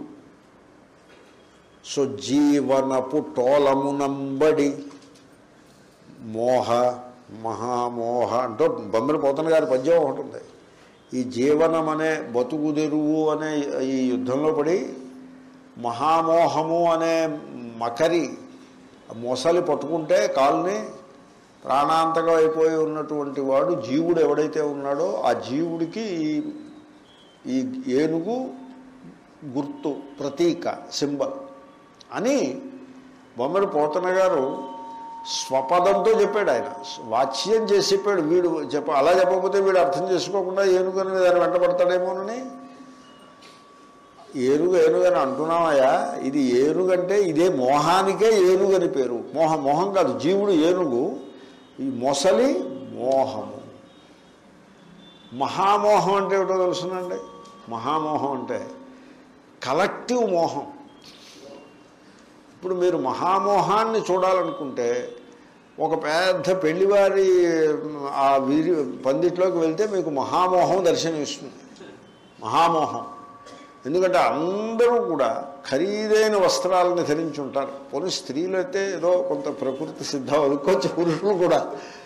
పురుషులు కూడా అరే బేషరం అన్నట్టుగా. ఖరీదైనటువంటి ఏవేవో వస్త్రాలు రంగురంగుల వస్త్రాలు ఇంతంత పొడుగు కండువాలు ఏవేవో ధరించి ఉంటారు. పురుషులు కూడా. స్త్రీలు సరే చెప్పనక్కర్లేదు. ఆభరణాలు ధరించి ఉంటారు. స్త్రీలు ఎలాగో ధరిస్తారు. కానీ అవసరాన్ని మించి ధరిస్తారు. అది that is the problem and పురుషులు కూడా ఏవేవో అలంకారాలు అవి చేసుకుని ఉంటారు. తర్వాత అక్కడ ఏదో మైక్ ఒకటి పెట్టేసి పిచ్చి పాటలన్నీ ఎవడు ఎవడు పలికిది ఇంకొకటికి వినపడకుండగా హై లెవెల్ ఆఫ్ నాయిస్ ఉంటుంది. దాన్ని కొంచెం తగ్గిద్దామనేటువంటి ఆలోచన అక్కడ ఉన్నవాడు ఎవరికీ ఉండదు. వెయ్యి మంది ఉంటారు. అరే ఆ మైక్ కొంచెం తగ్గించరా? నా మాట వాడికి వాడి మాట నాకు వినపట్టం లేదని చెప్దామనే వివేకం ఎవరికీ ఉండదు. మహావ్యామోహంలో పోతూ ఉంటుంది అది. తర్వాత భోజనాలు. దీంట్లో ప్రీ డయాబెటిక్ ఎంతమంది ఉన్నారో మీరు లెక్కేస్తే more than fifty percent pre diabetic ఉంటారు. మరి ఎలా చెప్పాల్సి వస్తుంది? ఎందుకంటే నేను నిన్న పేపర్లో చూశాను. ఇండియాలో నూట ఇరవై ఐదు కోట్ల మంది జనాభా ఉన్నారని నరేంద్ర మోడీ గారు అస్తమానం అంటూ ఉంటారు.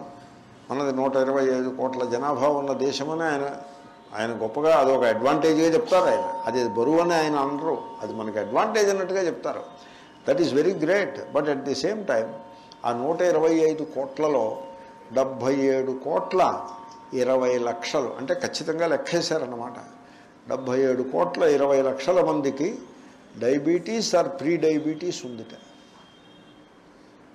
డెబ్భై ఏడు కోట్ల ఇరవై లక్షల మంది డయాబెటీస్ అంటే ప్రపంచంలో ఎవళ్ళు చూసినా డయాబెటీస్ రీసెర్చ్ చేస్తున్నారు ఈ మధ్యకాలంలో. ఎందుకంటే ఇది పెద్ద మార్కెట్ ఇది. ఆ డయాబెటీస్ కారణం ఏమిటో తెలుసునండి? మనం తినే అన్నం తెల్లని అన్నం ఏదైతే తింటున్నామో అది మొట్టమొదటి కారణం డయాబెటీస్కి. First foremost cause. ఇక సెకండ్ స్వీట్లు. ఎక్కడ చూసినా స్వీట్ షాప్లే. మీకు ఏదైనా పచారీ సామాను కొనుక్కోవాలంటే షాపు కనపడదు కానీ స్వీట్ షాపులు మాత్రం సమృద్ధిగా గల్లీ గల్లీమే కనపడతాయి. సరే ఇంకా పెద్ద పెద్ద స్వీట్ షాపులు లోక ప్రసిద్ధి చెందిన స్వీట్ షాపులు ఇక్కడి నుంచి అమెరికా కూడా కొని పట్టుకుపోతూ ఉంటారు.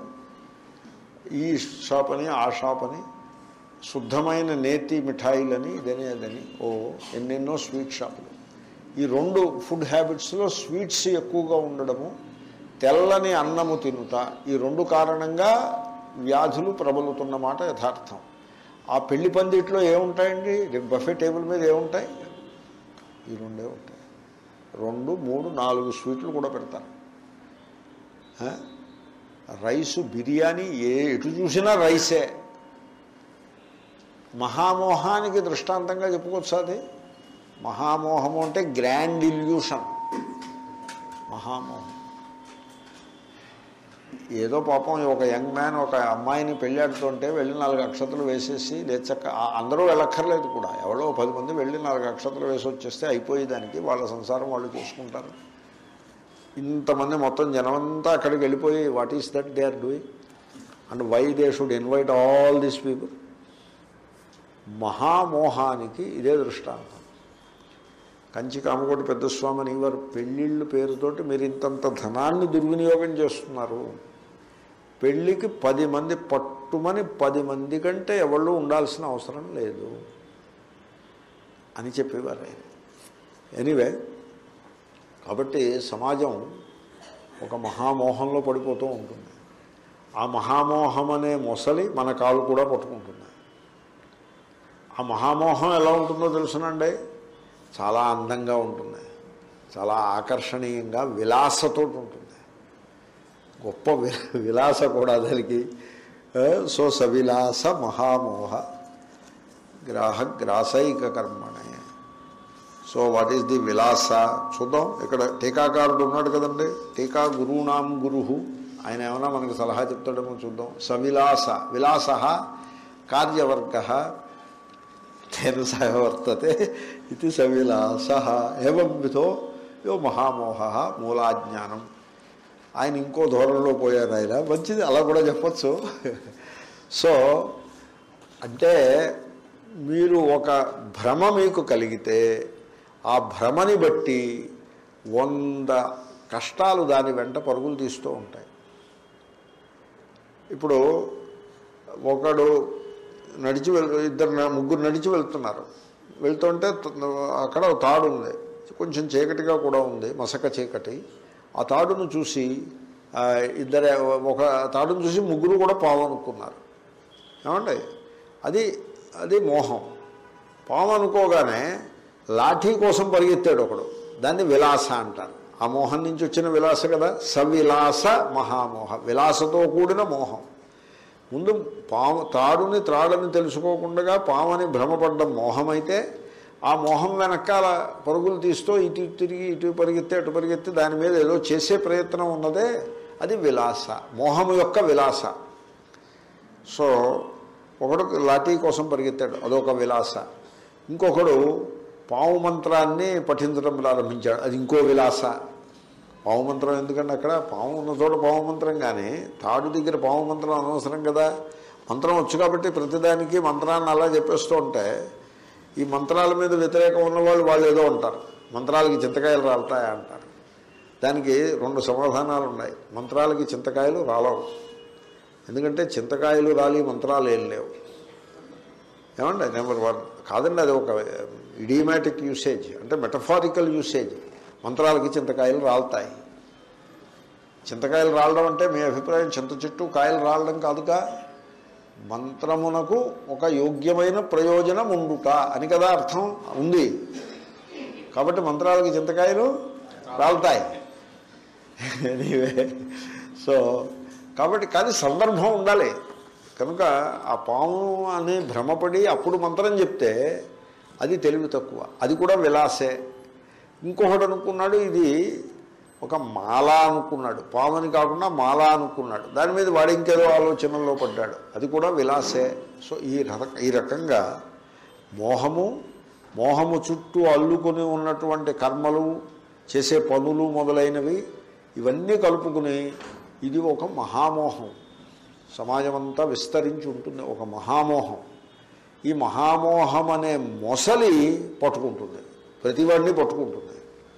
అయితే ఎవడైతే ఆ శంకరానంద గురుదేవుల పాదములకు వెళ్ళి దండం పెడతాడో ఆయన పాదములు చేసే మొట్టమొదటి పని ఏమిటంటే ఆ మొసలిని మింగిపారేస్తాయి. అంటే ఈ మహామోహము యొక్క ప్రభావం ఈ గురుపాదములను ఆశ్రయించిన వాళ్ళకి ఉండదు అనే అభిప్రాయం. సరిపడిందండి? ఇప్పుడు అర్థం చెప్పేద్దాము. సవిలాస మహామోహగ్రాహగ్రాసైక కర్మణే. సవిలాస విలాసలతో కూడిన మహామోహ. మహామోహమనే గ్రాహ మొసలిని గ్రాస మృంగివేయుట అనే ఏక కర్మణే ఒకే ఒక పనిని చేస్తూ ఉండే శ్రీ శంకరానంద గురు పాదాంబు జన్మనే శ్రీ శంకరానంద గురుదేవుల యొక్క పద్మముల వం పద్మము వంటి పాదము కొరకు ఏకవచనం చెప్పాను. ఎందుకంటే ఏకవచనం ఉంది కదా. పాదము కొరకు నమ నమస్కారము. అక్కడ ఎకవచనం ఉన్నా రెండు పాద అయా మీ పాదానికి నమస్కారము అంటే మీ పాదాలకు నమస్కారం అనే అర్థం. ఓకే? చాలా సరళంగా ఉందండి శ్లోకం. ఇప్పుడు తేలిగ్గా లేదు. ఇప్పుడు చెప్తుంటే మీకు అర్థమైపోతుంది. ఓసారి అందాము. నమశ్రీ శంకరానంద గురుపాదాంబు జన్మనే. సవిలాస మహామోహగ్రాహగ్రాసైక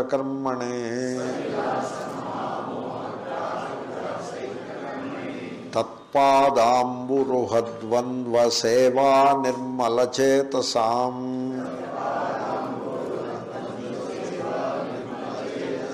సుఖబోధాయ తత్వస్య వివేకోయం విధీయతే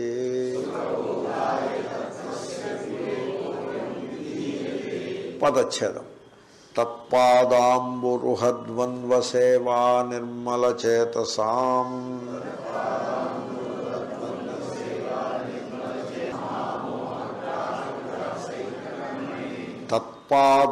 తత్పాదాంబురుహద్వంద్వ సేవా నిర్మలచేతసాం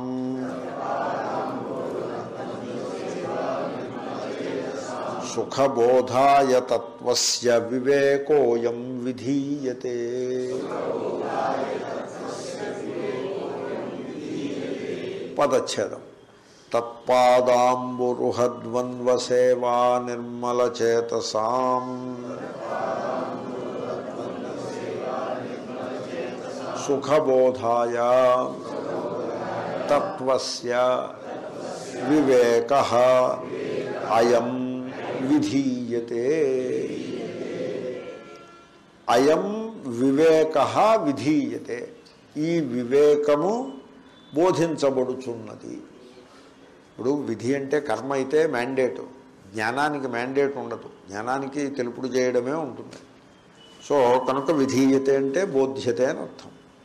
ఈ వివేకము బోధింపబడుచున్నది.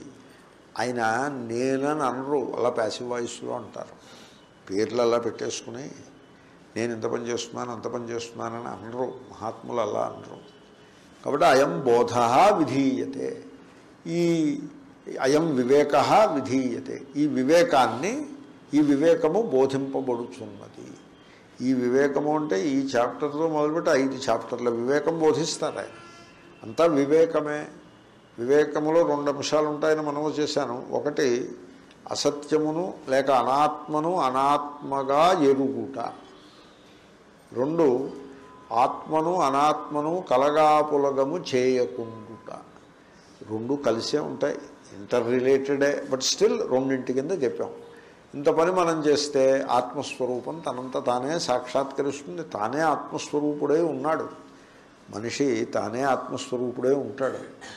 ఇప్పుడు ఆ జ్ఞానం అనే మోహం ఎలా ఉంటుందంటే ఇప్పుడు ఒకడు ఉన్నాడు నేను చాలా భయపడిపోతున్నానండి చాలా భయం భయంగా ఉంది ఈ భయానికి తొలగించే ఉపాయం ఏదైనా చెప్పండి అని నన్ను అడిగాడు. నేను అన్నాను ఇల్లరా కూర్చో నిటారుగా కూర్చో నిండా గాలి పీల్చి గాలి విడిచిపెట్టేప్పుడు ఓంకారాన్ని నువ్వు జపం చేయి ఓంకారాన్ని భావన చేయి చేయ పని ఇలా గాలి పీల్చడం ఓం అని గాలిని విడిచిపెట్టడం యూ డూ దాట్ ఓకే మళ్ళీ చేయి మళ్ళీ చేయి అలా పది నిమిషాలు చేయి. ఇప్పుడు చెప్పు భయం ఏమైంది? ఇంకా భయం ఉంది. ఇంకా ఉందా భయం? అయితే మళ్ళీ కూర్చో. మళ్ళీ చేయి. ఇదే చేస్తూ ఉండవు. నాలుగు రోజులు చేయి ఇది. ఆ తర్వాత నీ భయం సంగతి నేను ఈ లోపల దాని గురించి ఆలోచించి ఆ వివరాలన్నీ నేను సరిచేసి పెడతాను. నాలుగు రోజుల తర్వాత కనపడు నాలుగు రోజుల తర్వాత నన్ను రమ్మంటారా? రా. ఏమిటి నీ భయం అయింది చాలా మటుకి తగ్గిపోయింది. అలాగే ఉంటుంది. మోహం అనే మొసలి అక్కడ దాని కత్తులు కటార్లు పెట్టి దాన్ని ఏం చంపక్కల్లా మోహం అనే మొసలి. సో విష్ణువు చక్రంతో చంపేటంటే చక్రం కాలచక్రం అది. కాబట్టి ఆ మోహం అనే మొసలిని అంటే అజ్ఞానం చేత మనం దుఃఖిస్తూ ఉంటాం. మన దుఃఖానికి హేతువు అజ్ఞానమే. ఆ అజ్ఞానాన్ని తొలగించాలి అంటే వివేకమే సరిపడుతుంది. వివేకం తప్ప మరొకటి ఏమీ అక్కర్లా. ఆత్మస్వరూపం మీ అంతటా మీకే అనుభవానికి వస్తుంది. బోధించేది వివేకమే. కాబట్టి అయం వివేక విధీయతే. దేని యొక్క వివేకము? తత్వస్య వివేక. తత్వాన్ని వివేకం చేయాలి. ఇప్పుడు ఇది కొండ ఇది నే చదును నేల ఇది గొయ్యి అని ఇలా ఏవో పది పేర్లు చెప్తాడు వీడు. చూడమ్మా అవన్నీ మంచిదే కానీ వాటన్నిటి ఎందు ఒకే పృథివీ గలదు అన్నది వివేకం. ఇది కుండ ఇది బాణ ఇది మూకుడు ఇది పెడత అని పది పేర్లు చెప్తాడు. నామరూపాలు అంటారు వీటిని పది పేర్లు చెప్తాడు. చూడు తమ్ముడు ఇవన్నీ బాగానే ఉన్నాయి. కానీ వీటన్నిటి ఎందు ఒకే మట్టి గలదు అని తెలుసుకో అని చెప్పాలి. అయితే అయితే ఆ దృష్టాంతం దానికి ప్రాక్టికల్ ఇంప్లికేషన్ ఉండదు ఆ దృష్టాంతానికి. ప్రాక్టికల్ ఇంప్లికేషన్ ఉన్న దృష్టాంతం ఒకటి ఉంది. అదేమిటంటే ఇప్పుడు అమ్మాయి నాకేమో నెక్లెస్ కావాలి లేకపోతే నాకేమో కంకణములు కావాలి అని అంటూ ఉందనుకోండి. ఓకే నీకేం కావాలో చెప్తాను వెళ్ళరా. అని తీసుకెళ్ళి చూడు. ఎన్ని ఆభరణాలు ఉన్నాయో చూసుకున్నావా? చూసాను. ఇరవై రకాల ఆభరణాలు ఉన్నాయి ముప్పై రకాలు ఉన్నాయి. ఇవన్నీ బంగారం తప్ప మరేమీ కాదు. నువ్వు అది మనసుకు తెచ్చుకో. నువ్వు నెక్లెస్ అంటున్నావు తప్ప ఇప్పుడు బంగారానికి నెక్లెస్కి ఏమీ సంబంధం లేదు. ఎందుకని? నెక్లెస్ అంటే అర్థం ఏంటి? నెక్ అంటే మెడ లేస్ అంటే చుట్టూ పెట్టేది. అది మెడకి మెడకి చుట్టేది అని అర్థం. మీరు ఆభరణం పేరు ఏదైనా తీసుకోండి. ఆభరణం పేరులో మీకు మనిషి దేహావయవాలు ఉంటాయా? బంగారానికి సంబంధించింది ఏదైనా ఉంటుందా? మీరు చెప్పండి నాకు. ముక్కు పొడక. దాంట్లో బంగారం మాట ఏమైనా ఉందా? ముక్కు ముక్కు పొడక. కర్ణాభరణము. దాంట్లో బంగారమే ఉంది? కర్ణ బంగారానికి సంబంధించి ఏమైనా ఉందా? చెవి చెవికి అలంకారము. చూడామణి. దాంట్లో బంగారం మాట ఏముంది? వడ్డాణము వడ్డాణం ప్రకృతి వికృతి. ప్రకృతి ఓఢ్యానము. సంస్కృతంలో ప్రకృతి వికృతి ఎప్పుడైనా చదువుకుంటారు వీరు. ఓఢ్యానము. ఓఢ్యానము వడ్డాణము వడ్డానము అంటే అది దేహావయవానికి సంబంధించి స్త్రీ యొక్క నడుము భాగానికి సంబంధించినటువంటి పదం అది. దాంట్లో బంగారం మాట ఏముండదు. నిజానికి బంగారం దగ్గరికి వెళ్ళి ఓ బంగారమా నువ్వు ఎప్పుడైనా వడ్డాణమని నెక్లెస్ని విన్నావా? అంటే నాకు అవేమీ తెలియవని చెప్తుంది బంగారం. సో ఈ వివేకం చూడమ్మా నువ్వు. ఇవన్నీ ఆభరణాలను ఊరికే నామరూపాలు మనిషి మస్తిష్కం నుంచి కల్పితములు తప్ప వాస్తవంలో బంగారం తప్ప ఇంకేది లేదు. నీ ఆకర్షణ దేని మీద? ఆభరణం మీద బంగారం మీద నువ్వు ఆలోచించుకో. ఆకర్షణ ఎప్పుడు బంగారం మీద ఉండదు ఆభరణం మీద ఉంటుంది. కాబట్టి చూడు ఏదైనా ఒక చిన్న ఆభరణం తీసి మెడలో వేసుకో సరిపెట్టేసే దాంతో సరిపెట్టే సరిపడుతుంది. ఇంకెంతకంటే అక్కర్లేదు.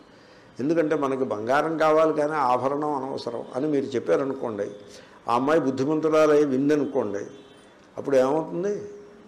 వివేకం వచ్చేసినట్ట లేనట్ట? అమెరికాలో పెద్ద కంపెనీకి సీఈఓ ఒక ఆమె. కోకాకోలా కంపెనీకో దేనికో పెద్ద company CEO chief executive officer నెల అయ్యేప్పటికీ లక్ష డాలర్లో లేకపోతే ఇంకా ఎక్కువ తక్కువ ఏదో మొత్తానికి అలా ఉంటాయి వాళ్ళ జీతాలు. ఆమెను ఒకసారి చూసి అదృష్టం నాకు కలిగింది. ఒకసారి ఆవిడ చూసి ఎక్కడో చోట. ఆవిడ మెడలో సన్నటి గొలుసు ఒకటి వేసుకున్నాను అంతే ఆభరణం ఇంకేం లేదు. ఎందుకంటే ఈ బంగారం ఇలా పెట్టుకుంటూ ఉండడం దాన్ని మళ్ళీ దా దాచుతూ ఉండడం దానికోసం మళ్ళీ ఓ సేఫ్ స్టోరేజీ ఈ న్యూసెన్స్ అంతా ఆవిడ పెట్టుకుందనుకోండి అంతటి విజ్ఞానాన్ని అంతటి ఉన్నత స్థానాన్ని చేరుకోగలిగేది ఆవిడ మరి చేరుకోలేకపోయేది. కాబట్టి ఏదో మెడలో ఉండాలి కాబట్టి ఏదో వివాహితకి మెడలో ఏదో ఉండాలి కాబట్టి ఓ చిన్న గొలుసులాగా ఏదో చిన్న లాకెట్టో ఏదో పెట్టుకున్నాడు అంతే. నో మోర్ గోల్డ్ సో వివేకం అనేది అంత ప్రాక్టికల్ ఇంప్లికేషన్స్ ఉంటాయి. వివేకం. లాల్ బహదూర్ శాస్త్రి గారు మన భారతదేశం మీద పాకిస్తాన్ దండయాత్ర చేసినప్పుడు ఆర్థిక పరిస్థితి కుదుటపడడం కోసం ఆయన ధనాన్ని బంగారాన్ని ఇవ్వండి అని కోరితే ఆయన రాజమండ్రి కూడా వచ్చారు. ఆయన ఎక్కడ వెళ్తే జీపు నిండా పట్టనంత ఆభరణాలని అందరూ ఇచ్చేసేవారు ఆయనకి. ఎంత ఎంత బంగారం వచ్చిందంటే ప్రభుత్వానికి. ఎందుకంటే ప్రభుత్వం దాన్ని బంగారం అనే దృష్టితో చూస్తుంది. మనం ఆభరణములనే దృష్టితో చూస్తాం. ఈ ఆభరణ దృష్టిని మీరు పక్కన పెట్టగలిగితే బంగారం అనే దృష్టితో దాన్ని చూడగలిగితే అక్కడికక్కడే తత్వము నామరూపాలు అనే తేడా తెలిసిపోతుంది. తత్వం మీద ఆకర్షణ ఉండదు. నామరూపాల మీదే ఆకర్షణ ఉంటుంది. చూడండి ఎంత ప్రాక్టికల్ ఇంప్లికేషన్ ఉన్నటువంటి వివేకము. సో ఇదే విధంగా మనిషి జీవితంలో వివేకమునకు ఉన్న ప్రాముఖ్యము ఎంతటిదో చెప్పశక్యం కాదు. ప్రతి సందర్భంలోనూ ఆ తత్వమును వివే నామరూపముల నుండి తత్వమును విడదీసి చూచుట. ప్రతి సందర్భంలో ఇప్పుడు మీ మనస్సుకి ఏదైనా భయం వచ్చిందనుకోండి తత్వమును నామరూపముల నుండి విడదీయుట. అంతే మీరు చేయాల్సింది. తత్వమును నామరూపముల నుండి విడదీయుట. అది అదే దాన్ని వివేకము అంటారు. అటువంటి వివేకాన్ని బోధించాలంటారా అక్కర్లేదంటారా? నేను అనుకోకుండా టీవీ చూశాను మొన్న. చూస్తే ఒక ఆయన శుద్ధ అంధవిశ్వాసాన్ని ఆయన ప్రవచిస్తున్నారు. అరగంట కార్యక్రమము అంధవిశ్వాసమే. Super station. ఏమిటంటే అడ్డాకుల అనే ఊరుంది. హైవే మీద అడ్డాకుల అనే ఊరుంది. ఆ ఊరు దగ్గర ఒక క్షుద్రదేవత ఉన్నది. ఆ ఊళ్ళో వాళ్ళని ఏం చేయదు ఆ క్షుద్రదేవత? ఆ హైవే మీద వెళ్తున్న డ్రైవర్ని అలాగ కమ్మేస్తుంది ఆ క్షుద్రదేవత. కమ్మేసి యాక్సిడెంట్లు అయిపోతూ ఉంటాయి. అందరు డ్రైవర్లకే అవ్వవు. మళ్ళీ కొంతమంది డ్రైవర్లకే అవుతుంది. అడ్డాకుల దగ్గర క్షుద్రదేవత యాక్సిడెంట్లు ఉదాహరణకి ఆయన ఈయన చెప్తున్న ఆయనకు ఒక కారు ఉంది. చూడండి ఆయనకి కారు ఉంది. అంటే మరి బాగానే నడుస్తుంది అనమాట ఆ కారుకో డ్రైవర్ ఉన్నాడు. ఉదాహరణకి నేను కూడా ఆయన చెప్తున్నారు నేను కూడా ఆ కారు ఎక్కి ఆ అడ్డాకుల దగ్గర మీద వెళ్తుంటే ఆ డ్రైవర్ ఇలా ఇలాగా ఏదో కళ్ళు ఇలా ఇలాగా వేయడము కొంత ఏమిటో ఎలా ఉన్నావు ఏమిటో అని అడిగా. నా దగ్గర పదేళ్ళ నుంచి పనిచేస్తున్నాడు ఆ డ్రైవర్. అంటున్నాడు ఆయన. ఏమిటో అలా ఉన్నావేమిటి అనేప్పుడు ఏమిటో నుండి మగత అయిపోతుంది నాకు. మగతగా ఉండకు జాగ్రత్తగా ఉండు. ఓం ప్రసన్నాంజనేయ అనేదో ఆయన మంత్రం పఠించడము వాడ మగత తగ్గి నడవడము జరిగింది. ఆ అడ్డాకులు వచ్చేప్పటికీ ఆ దేవత ఆ క్షుద్ర దేవత అలా కమ్మేస్తూ ఉంటుంది. ఆ క్షుద్ర శక్తి. ఆ డ్రైవర్లకి ఆ స్టీరింగ్ పట్టుకోవడం చేతకుండా కాకుండా అయిపోతుంది ఏదోలా అయిపోతుంది. That's why Addakula is an accident prone spot ఇప్పుడు మీకు హైవే మీద వెళ్తుంటే యాక్సిడెంట్ ప్రోన్ స్పాట్ అని కూడా పెడతారు చూడండి. ఈయన అక్కడ ఒక అడ్డాకుల దగ్గర ఈయనే పెడితే బాగుంటుంది ఒకటి పెద్దది. ఇక్కడికి వచ్చేప్పటికి క్షుద్రశక్తి ఉంటుంది అని ఆయన చెప్తున్నారు. దీనికి పరిష్కారం కూడా కనిపెట్టేశారు ఆయన.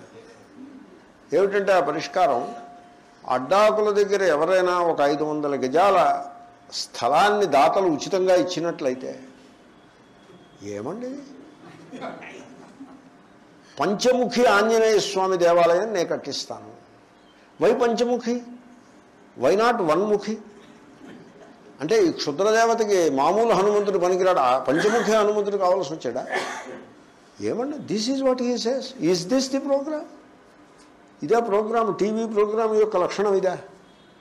ఎంత దురదృష్టకరమైన వాతావరణం. దీనికోసం మళ్ళీ ఒక పండిత వేషం పండిత భాష and what you convey to people is mere superstition మహామోహం. కాబట్టి యాక్సిడెంట్ ప్రోన్ స్పాట్స్ ఉంటాయి. అక్కడ టర్నింగ్స్లో కానీ లేకపోతే ఆ యూ టర్న్ కానీ లేకపోతే డిఫికల్ట్ టర్న్ కానీ యాక్సిడెంట్ ప్రోన్ స్పాట్స్ ఉంటాయి. తర్వాత టర్న్ వచ్చినప్పుడు బ్యాంకింగ్ ఆఫ్ ది రోడ్డు చేయకపోతే మీకు స్పీడ్ ఎక్కువ ఉంటే బండి బోల్తా కొడుతుంది. లేకపోతే సడన్గా బ్లైండ్ స్పాట్స్ ఉంటాయి. మనం ఇలా వెళ్తుంటే సడన్గా ఒక ట్రాక్టర్ వాడో వాడో వస్తాడు. మనకి వాడు వస్తున్నాడని కూడా తెలియదు. మీద పడేదాకా తెలియదు. అలాంటి స్పాట్లు ఉంటాయి. వాటిని గుర్తుపట్టి అక్కడ ప్రికాషనరీగా బోర్డులో అవి పెడతారు. ఓ లైట్ ఏదో పెడతారు. అలా చేస్తారు. ప్రపంచం అంతా కూడా. యూరప్ అంతా అలా చేస్తారు. అమెరికా అంతా అలా చేస్తారు. ఇక్కడేమో పంచముఖి ఆంజనేయ స్వామి దేవాలయం కడితే మీకు యాక్సిడెంట్లు అవ్వని ఆయన అండము వీళ్ళందరూ వినడము ఏమండి ఇదంతా? ఇదే పద్ధతి ఇదే మతం అంటే ఎలా ఉంటుందా మతం? అంత అంధవిశ్వాసంతో ఉండడం అది సరేనా? తప్పు కాదు ఇది. ఇగో ఇలా ఉంటుంది. తత్వస్య వివేక. ఎప్పుడు కూడా యాక్సిడెంట్ ఏదైనా అయి ఉండొచ్చు. దానికేవో హేతువులు చూసుకోవాలి. ప్రతి పుట్టిన ప్రతి మనిషి గిట్టక తప్పదనే ఒక హేతువు చూడాలి. నేను ఓ ప్రొఫెసర్ గారు చెప్పారు నాకు. ఆయన హాస్పిటల్కి వెళ్ళారు. The primary causes of death are అని ఒక పెద్ద బోర్డు ఉంది అక్కడ. హాస్పిటల్స్లో ఇలాంటివి ఏవో పెడుతూ ఉంటారుగా ఎడ్యుకేషన్స్ మెటీరియల్ పెడతారు. వన్ కార్డియాక్ అరెస్ట్ టూ అలాగే వాళ్ళు ఐదు పెట్టారు. ఈయన వాళ్ళని పిలిచి ఆ రోజు కూడా ఉంది రాసుకోండి అని చెప్పాను నేను. ఏమిటంటే టేకింగ్ బర్త్ అని రాయమన్నాడు ఆయన. ఆయన వేదాంతం వింటూ ఉంటారు. అక్కడ అమెరికాలో ఆయనే చెప్పారు నాకు ఇది. మ్యాథమెటిక్స్ ప్రొఫెసర్ ఒక ఆయన. టేకింగ్ హ్యావింగ్ టేకెన్ బర్త్ ఇది ఆరో కాసు కింద పెట్టుకోండి. ఇది మొద ఆరో దాంట్లో పెట్టినా సరే పర్వాలేదు లేకపోతే నెంబర్ వన్లో పెట్టినా కూడా అభ్యంతరం లేదు అని ఆయన వీళ్ళకి వాళ్ళకి చెప్పారు. కాబట్టి పుట్టినవాడు గిట్టక తప్పదు. అక్కడ యాక్సిడెంట్ ప్రోన్ స్పాట్ అవ్వచ్చు. People do not follow the road rules properly అవ్వచ్చు. లేకపోతే లాంగ్ డిస్టెన్సెస్ సొంత కార్లలో వెళ్ళడం అనేటువంటి ఒక habit not a very good habit in the given situation. అలాంటివేవో ఉండొచ్చు. అలా ఆలోచించాలి తప్ప దాన్ని వివేకం పట్టుకోవాలి కానీ తత్వం పట్టుకోవాలి కానీ వివేకం పట్టుకోవాలి కానీ ఎవడో ఐదు వందల గజాలు ఇస్తే నేనేమో పంచముఖి ఆంజనేయ స్వామి దేవాలయం కట్టిస్తానంటే ఇంకా ఆ రకంగా మీరు ఈ యాక్సిడెంట్ స్పాట్స్ అన్నింటిలోనూ పంచముఖి ఆంజనేయ స్వామి దేవాలయాలు అలా కట్టుకుంటూ పోతే it is a very peculiar state of affairs ఇదంతా ఎందుకు చెప్పాను నేను? అంటే తత్వస్య వివేక. నామరూపముల నుండి తత్వాన్ని నిగ్గు తేల్చాల్సి ఉంటుంది. ఆ పని చేయాలి. అందుకోసమని నేను ఈ ఈ వివేక ప్రకరణాన్ని నేను బోధిస్తున్నాను అని అంటున్నారు ఆయన. వివేకోయం విధీయతే. అయితే చాలా వేదాంత గ్రంథాలు ఉన్నాయి మళ్ళీ ఈ గ్రంథం ఎందుకు? అంటే సుఖబోధాయ. ఇగో దాన్ని ఒత్తి పలకాలి. సుఖబోధాయ అనకూడదు. సుఖబోధాయ. ఉత్తమన్నారు కదా అని ఇంకా అదే పనిగా బో కూడా ఒత్తేయకూడదు. ఓకే. ఓ ఓలి ఓలే పలకాలి ఓకే? సుఖబోధాయ. సో తేలికగా తెలియటం కోసం. అయితే ఎవరికి తేలిగ్గా తెలుస్తుందో తెలుసునండి. వాళ్ళు హృదయము నిర్మలమై ఉండాలి. పవిత్రమైన హృదయం కలిగిన వాళ్ళు అయి ఉండాలి. ఆ పవిత్రమైన హృదయం కూడా ఎలా వస్తుందంటే ఆ గురుదేవుల పాదములను మళ్ళీ పాదములు అనగానే పద్మముల వంటి అని పక్కన పెట్టుకుంటూ ఉండాలి. పద్మముల వంటి పాదములను రెండింటిని సేవించుట. పాదములను సేవించుట అంటే పర్వాలేదు శిష్యులు గారిలాగా చేయకూడదు. అది ఊరికే ఒక ఎక్స్ప్రెషన్. ఈ కాలు నీది ఆ కాలు నాది అని నువ్వు నా కాలు జోలికి రాకు నువ్వు నేను నీ కాలు జోలికి రాను అంటూ ఆ రకంగా కాదు అభిప్రాయం. అంటే గురుదేవుల యొక్క సేవని చేసుకుంటూ వారి దగ్గర అధ్యయనం చేసి శాస్త్రాన్ని చిక్కబట్టిన వాళ్ళకి ఆ విధంగా పవిత్రమైన హృదయం గల వాళ్ళకి నేను చెప్పబోయే ఈ వివేకము చక్కగా తేలికగా తెలుస్తుంది. అందుకోసం ఈ వివేకాన్ని ప్రారంభం చేస్తున్నాము. తెలిసిందండి శ్లోకం? అర్థం చెప్దాం. తత్పాదాంబురుహద్వంద్వ సేవా నిర్మల చేతసాం. తత్ ఆ గురువు యొక్క పాదాంబురుహద్వన్ పాదాంబురుహద్వంద్వ. పద్మముల వంటి పాదముల జంట యొక్క సేవా సేవించుటచే నిర్మల పవిత్రమైన చేతసాం. హృదయము గలవారలకు సుఖబోధాయ తేలికగా తెలియుట కొరకై అయం ఈ తత్వస్య తత్వము యొక్క వివేక వివేకము విధీయతే బోధింపబడుచున్నది తెలిసిందండి శ్లోకం తత్పాదాంబురుహద్వంద్వ సేవా నిర్మల చేతసాం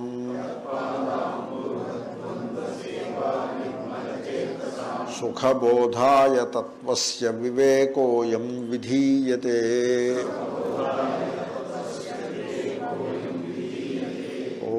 पूर्णमद पूर्णमद पूर्णात् पूर्णमुदच्यते पूर्णस्य पूर्णमादाय पूर्णमेवशिष्य ओम शांति शांति शांति हरि। गणे